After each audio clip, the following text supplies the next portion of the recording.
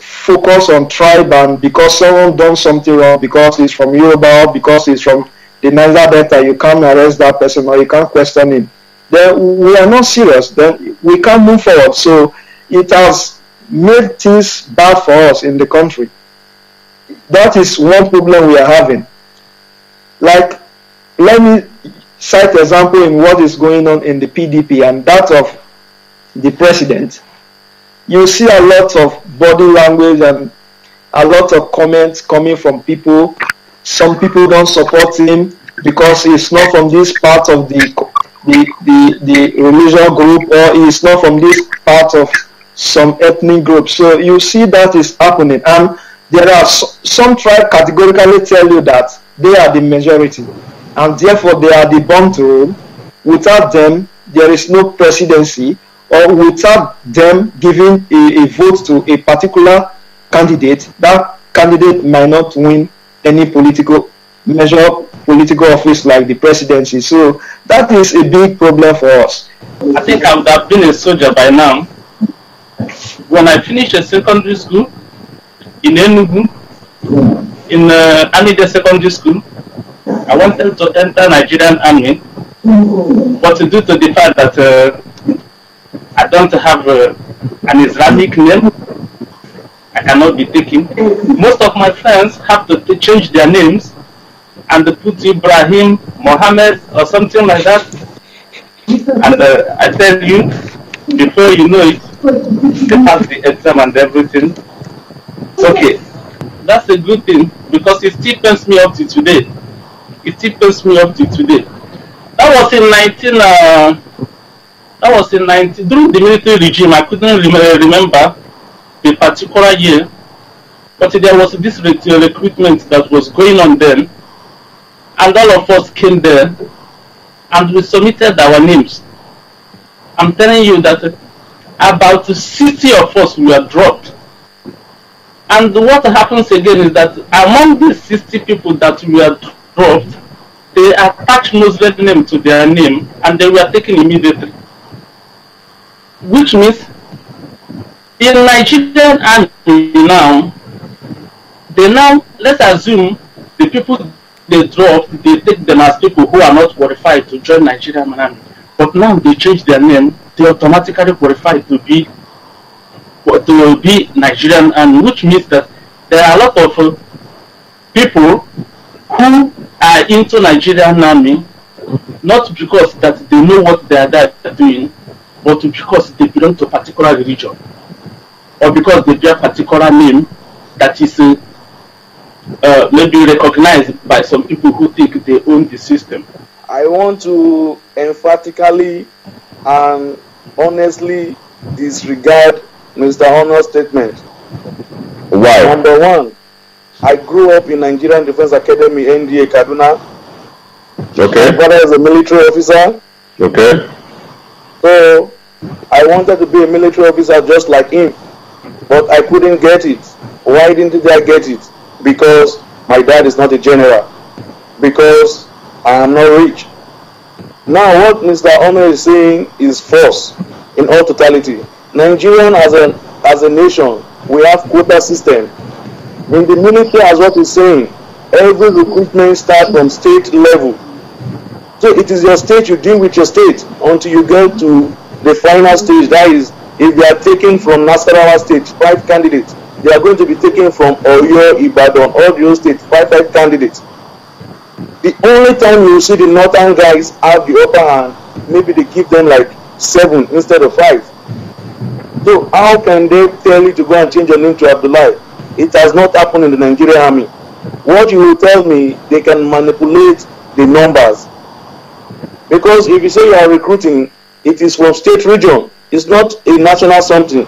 You start from your state screening down until you you have been selected, you face the board, everything you does is going to be state level. It is not just being generalized like JAMB or WAEC. It is something that does with state level.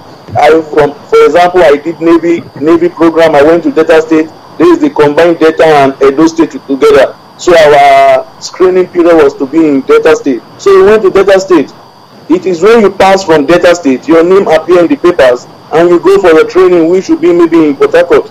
So it doesn't have anything to do with that because there is a quota system in place. Nigeria have quota system which is being respected. But the only problem where you see in that quota system that is why i talk about nepotism and chronism like the generals you are writing exam with the generals children. Even if they don pass the exam a general a general will not allow a civilian to just come and override them. So that is the only thing i think happen. They don allow if you don know somebody in the military you cannot get that slot easily unless you are a divine candidate. So I'm telling the real truth is this. If Nigerians are going according to people who are qualified to man aff- uh, affairs of a particular post, Nigeria will be competing with the other European or Western nations. What do they have that we don't have upstairs? In terms of natural thinking, uh, come on, everything is not going to school. There is that natural endowment given to you by your God. And I can tell you that the African man have it number one before you talk of being educated.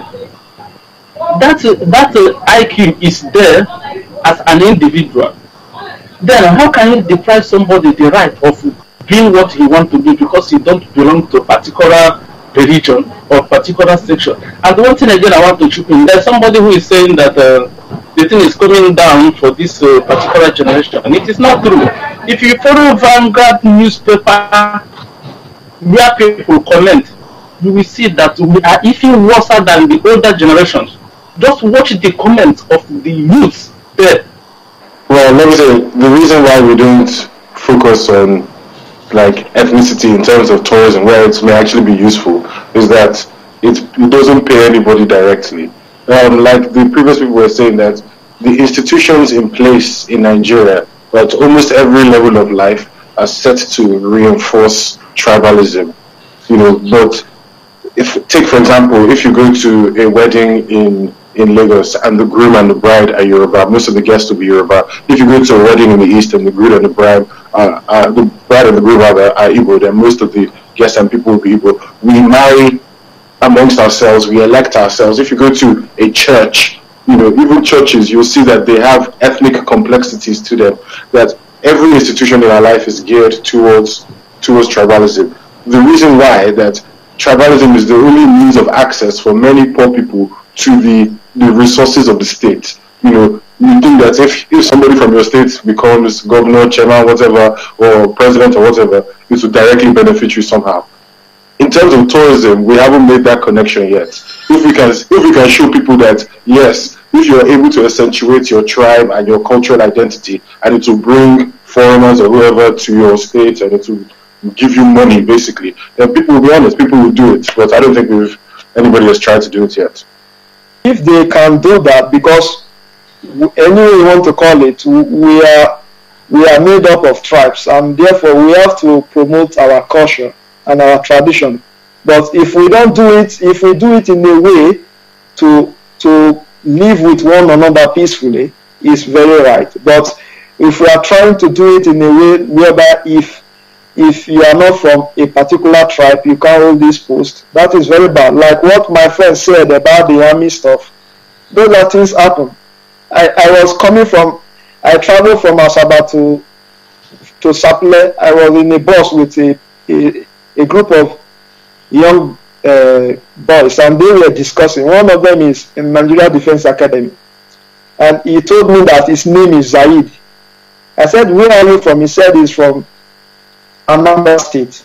I said, why Zaid? Are you Muslim? He said, no. He said, these are the way you can use before you go into that place. Uh, because if they see some kind of names like uh, Emeka and the rest, they will throw you out. So he has to change his name, enable him to get that. We've seen the president is from the minority ethnic group in Nigeria. He's ruling Nigeria today. The chief of army staff today is from River State. Is minority. What I'm still saying, Nigeria is not having tribal issue. Our politicians are united. We, the poor class, the minor, the the low class people, we are just being fooling ourselves. Now that's how heated the debate gets when issues of this magnitude are being discussed. Don't forget to make your voice heard. Tweet your thoughts to at Victor underscore MBID